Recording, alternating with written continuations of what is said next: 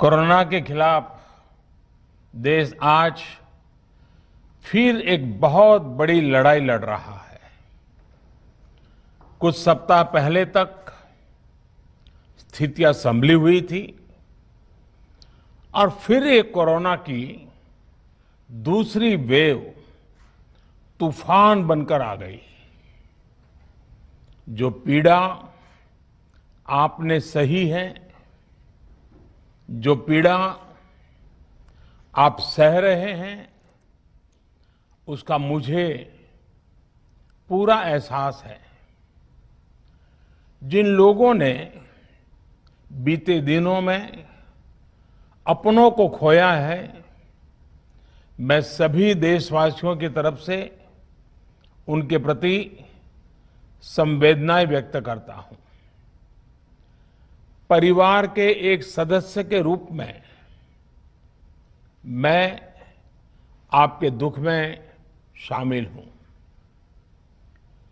चुनौती बड़ी है, लेकिन हमें मिलकर अपने संकल्प, अपने हौसले और तैयारी के साथ इसको पार करना है।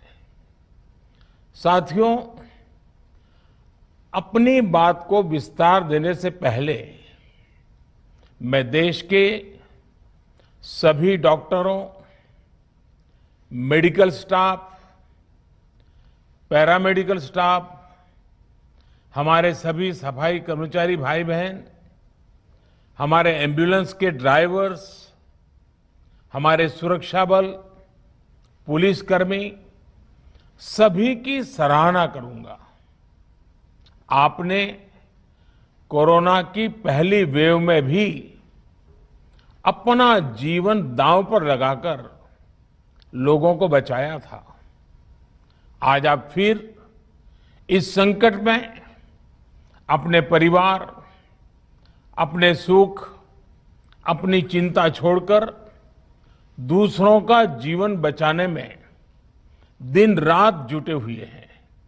साथियों हमारे शास्त्रों में कहा गया है, त्याज्यम न धैर्यम विदुरपि काले।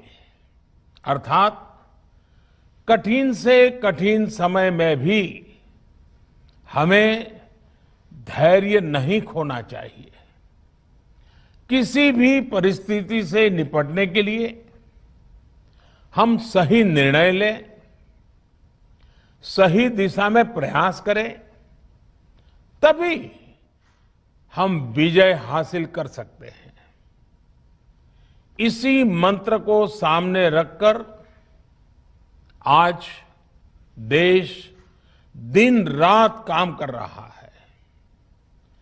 बीते कुछ दिनों में जो फैसले लिए गए हैं, जो कदम उठाए गए हैं वो स्थिति को तेज़ी से सुधारेंगे। इस बार कोरोना संकट में देश के अनेक हिस्से में ऑक्सीजन की डिमांड बहुत ज़्यादा बढ़ी है। इस विषय पर तेज़ी से और पूरी संवेदनशीलता के साथ काम किया जा रहा है।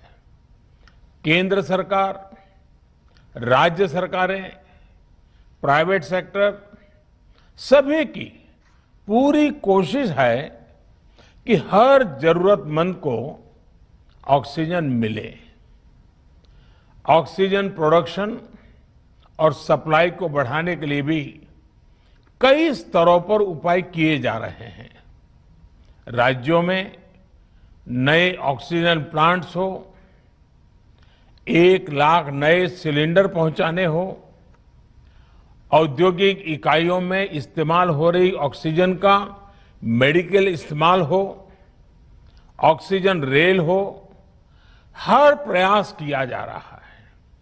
साथियों, इस बार जैसे ही कोरोना के केस बढ़े, देश के फार्मा सेक्टर ने दवाइयों का उत्पादन और बढ़ा दिया है। आज जनवरी फरवरी की तुलना में देश में कई गुना ज़्यादा दवाइयों का प्रोडक्शन हो रहा है। इसे अभी और तेज किया जा रहा है। कल भी मेरी देश की फार्मा इंडस्ट्री के बड़े जो प्रमुख लोग हैं, उसके जो एक्सपर्ट लोग हैं, उनसे बहुत लंबी चर्चा हुई है। प्रोडक्शन बढ़ाने के लिए हर तरीके से दवाई कंपनियाँ की मदद ली जा रही है। हम सौभाग्यशाली हैं कि हमारे देश के पास इतना बड़ा मज़बूत फार्मा सेक्टर है, जो बहुत अच्छी और तेज़ी से दवाइयाँ बनाता है। इसके साथ ही अस्पतालों में बेड की संख्या को बढ़ाने का भी काम तेज़ी से चल रहा है। कुछ शहरों में ज़्यादा डिमांड को देखते हुए विशेष और विशाल कोविड हॉस्पिटल बनाए जा रहे हैं। साथियों, पिछले वर्ष जब देश ने कोरोना के कुछ ही मरीज़ सामने आए थे, उसी समय भारत में कोरोना वायरस के खिलाफ प्रभावी वैक्सीन के लिए काम शुरू कर दिया था। हमारे वैज्ञानिकों ने दिन रात एक करके बहुत कम समय में देशवासियों के लिए वैक्सीन विकसित की है। आज दुनिया की सबसे सस्ती वैक्सीन भारत में है। भारत की कोल्ड चेन व्यवस्था के अनुकूल वैक्सीन हमारे पास है।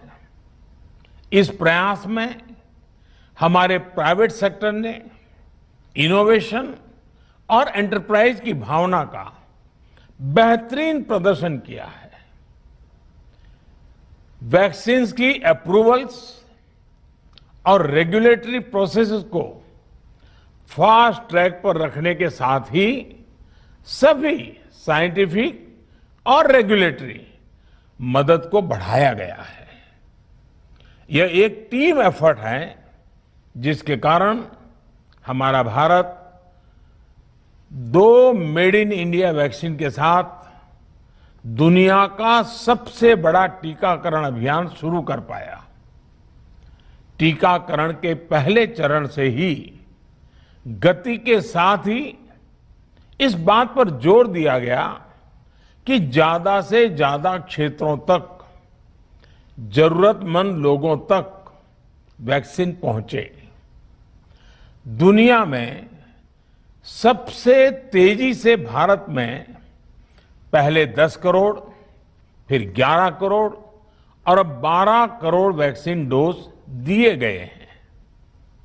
आज कोरोना से इस लड़ाई में हमें हौसला मिलता है कि हमारे health care workers frontline corona warriors और सीनियर सिटीजन्स के एक बड़े हिस्से को वैक्सीन लग, का लाभ मिल चुका है। साथियों कल ही वैक्सीन को लेकर हुए एक और अहम फैसला भी हमने किया है। एक मई के बाद से 18 वर्ष के ऊपर के किसी भी व्यक्ति को वैक्सीनेट किया जा सकेगा। अब भारत में जो वैक्सीन बनेगी, उसका आधा हिस्सा सीधे राज्यों और अस्पतालों को भी मिलेगा। इस बीच गरीबों, बुज़ुर्गों, निम्न मध्यम वर्ग के लोग, मध्यम वर्ग के लोग 45 वर्ष की आयु के ऊपर के व्यक्तियों के लिए केंद्र सरकार का जो वैक्सीन कार्यक्रम चल रहा है, वो भी उतनी ही तेज़ी से जारी रहेगा। पहले की तरह ही सरकारी अस्पतालों में मुफ़्त वैक्सीन मिलती रहेगी, जिसका फ़ायदा, जैसा मैंने कहा, हमारे गरीब परिवार हो, हमारे मध्यम वर्ग, निम्न मध्यम वर्ग के परिवार हो वो उनका लाभ उठा सकेंगे। साथियों, हम सभी का प्रयास जीवन बचाने के लिए है और जीवन बचाने के लिए तो है ही। प्रयास से भी ये है कि आर्थिक गतिविधियाँ और आजीविका कम से कम प्रभावित हो। प्रयास का तरीका यही रखा जाए। वैक्सीनेशन को 18 वर्ष की आयु के ऊपर के लोगों के लिए ओपन करने से शहरों में जो हमारे वर्कफोर्स है, उसे तेज़ी से वैक्सीन उपलब्ध होगी। राज्यों और केंद्र सरकार के प्रयासों से श्रमिकों को भी तेज़ी से वैक्सीन मिले, लगेगी। मेरा राज्य प्रशासन से आग्रह है कि वो श्रमिकों का भरोसा जगाए रखे। उनसे आग्रह करें कि वो जहाँ है वहीं रहे। राज्यों द्वारा दिया गया ये भरोसा उनकी बहुत मदद करेगा कि वो जिस शहर में है, वहीं पर अगले कुछ दिनों में वैक्सीन भी लगेगी और उनका काम भी बंद नहीं होगा। साथियों, पिछली बार जो परिस्थितियाँ थी, वो अभी से काफ़ी भिन्न थी। तब हमारे पास इस वैश्विक महामारी से लड़ने के लिए कोरोना स्पेसिफिक मेडिकल इंफ्रास्ट्रक्चर नहीं था। आप याद करिए, देश की क्या स्थिति थी? कोरोना टेस्टिंग के लिए पर्याप्त लैब नहीं पीपीई का कोई प्रोडक्शन नहीं। हमारे पास इस बीमारी के ट्रीटमेंट के लिए कोई खास जानकारी भी नहीं, लेकिन बहुत ही कम समय में हमने इन चीज़ों में सुधार किया। आज हमारे डॉक्टरों ने कोरोना के इलाज की बहुत ही अच्छी एक्सपर्टीज हासिल कर ली है। वो ज़्यादा से ज़्यादा जीवन बचा रहे हैं। आज हमारे पास बड़ी मात्रा में पीपीई किट्स हैं, लैब्स का बड़ा नेटवर्क है, और हम लोग टेस्टिंग की सुविधा को निरंतर बढ़ा रहे हैं। साथियों, देश ने कोरोना के खिलाफ अब तक बहुत मजबूती से और बहुत धैर्य से लड़ाई लड़ी है। इसका श्रेय आप सभी को, सभी देशवासियों को ही जाता है। अनुशासन और धैर्य के साथ कोरोना से लड़ते हुए आप देश को यहाँ तक लाए हैं। मुझे विश्वास है, जन भागीदारी की ताकत से हम कोरोना के इस तूफ़ान को भी परास्त कर पाएँगे। आज हम अपने चारों ओर देख रहे हैं कि कैसे कई लोग, कई सामाजिक संस्थाएँ जरूरतमंदों तक मदद पहुँचाने में दिन रात जुटे हैं। दवाई पहुंचाना हो, खाने या रहने की व्यवस्था करनी हो, लोग पूरे मनोयोग के साथ काम कर रहे हैं। मैं इन सभी के सेवा भाव को आदरपूर्वक नमन करता हूँ और देशवासियों से अपील करता हूँ कि अधिक से अधिक मात्रा में इस संकट की घड़ी में देशवासी आगे आए और जरूरतमंदों तक मदद पहुंचाएँ। समाज के पुरुषार्थ और सेवा के संकल्प से ही हम ये लड़ाई जीत पाएँगे। मेरा युवा साथियों से अनुरोध है कि वो अपनी सोसाइटी में, मोहल्ले में, अपार्टमेंट्स में छोटी छोटी कमेटियाँ बनाकर कोविड अनुशासन पालन करवाने में मदद करें।